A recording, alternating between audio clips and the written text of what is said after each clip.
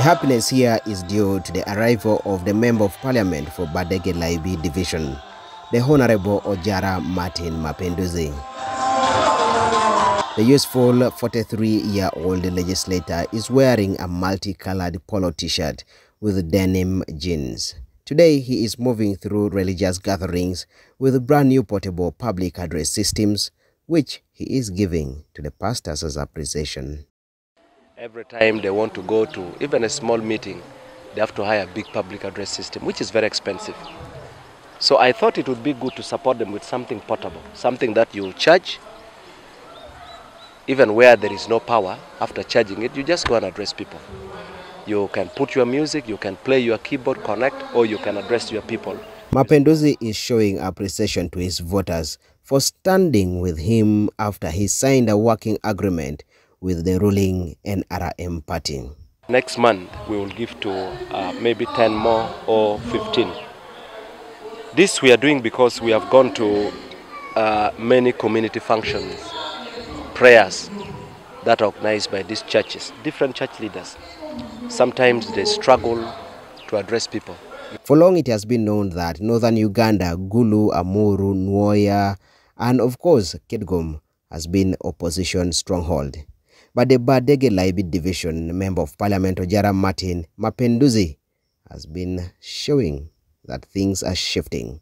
This MOU we signed after I had already been given an assignment, which assignment I accepted because he bought portable rechargeable public address systems for 13 churches in Gulu City. The legislature, who is a former FDC stalwart in northern Uganda, has put aside 28 million Uganda shillings to purchase public address systems for another 12 churches, and that will be 25 churches in total. With the announcement, Mapenduzi joined his voters in a religious dance. Some women were overjoyed to the extent that they lay on the floor as they wept and prayed to their God. Akena Peter believes that by working with the NRM party, Mapenduzi will help the whole country, not just his voters, but the whole country. But to me, if it is the interest of God, glory be to God. So I pray so that God help him, give him courage to work for the country. In another setting, it was all joy, happiness, and laughter with hugs, as Mapenduzi was cheered on by the NRM members of parliament, while Moi Sharon, who represents the people of Gulu district in the 11th parliament as the woman MP. Achiro Pasca, who is the woman member of parliament for Pader district, and Sebastian Oguti, the deputy RDC of Lamwo district all joined in in happiness.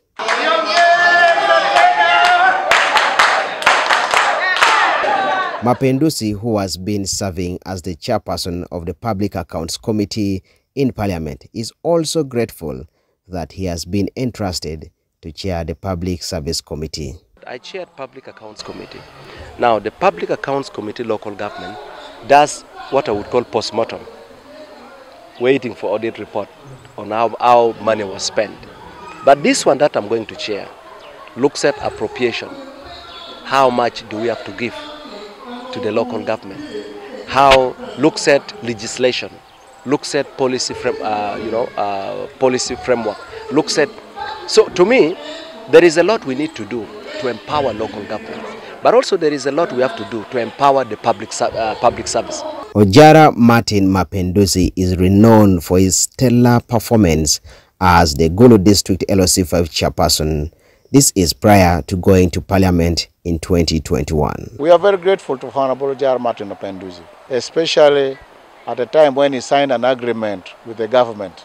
It was a very exciting news for us, the born-again Pentecostal churches here in Gulu City. The Pentecostal bishop of the born-again churches in northern Uganda Bishop James Ochan also requested the government of President Yoweri Museveni to recognize the efforts of Mapenduzi and reward him with a ministerial position. He has had a very good track record when he was a chairman LC5 for Gulu district.